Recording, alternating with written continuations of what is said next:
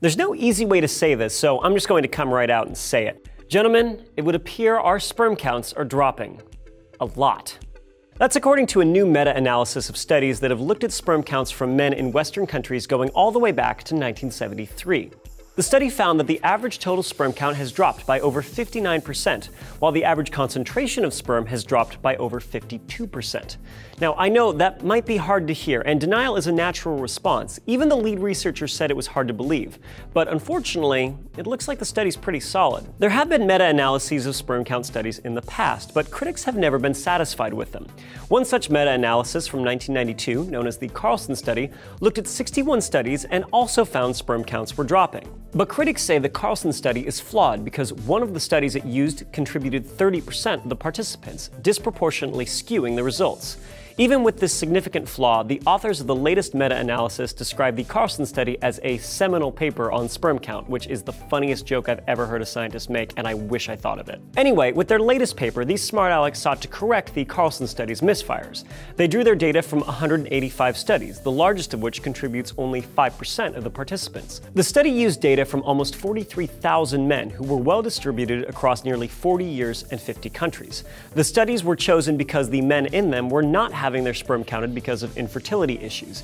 And the analysis accounted for tons of factors like age and how long the men had gone since they last, you know, gave a sample, so to speak.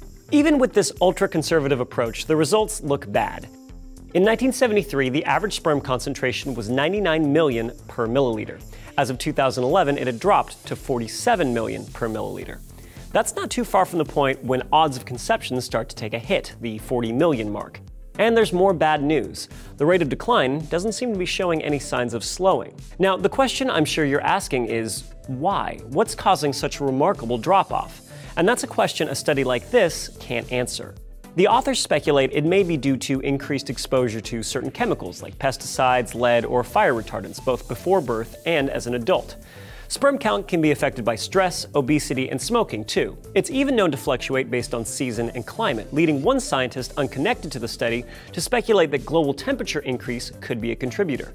As if there weren't enough reasons to worry about climate change, apparently it might be cooking our huevos, too. This new study isn't perfect, of course, and skeptics have noted that the original studies that it drew from didn't account for men's health and lifestyles, both factors that can impact sperm count, so there could be some variability there and sperm count methodology has not been standardized across countries. Still, other scientists have said that for a definitive answer on declining sperm count, this is as close as we're going to come. To repeat though, this is just really strong evidence that there is a decline, and a pretty alarming one at that. But the cause or causes are still very much unknown. For the continued propagation of the human race, more research and sperm is needed. Sperm isn't just useful for baby making, it may have medical uses too, like delivering cancer drugs. Check out Trace's video here for the craziest friggin' thing I've ever heard. Alright guys, are you worried about this news or are you confident in your frosted mini-me's? Let us know in the comments, don't forget to subscribe, and I'll see you next time on Seeker.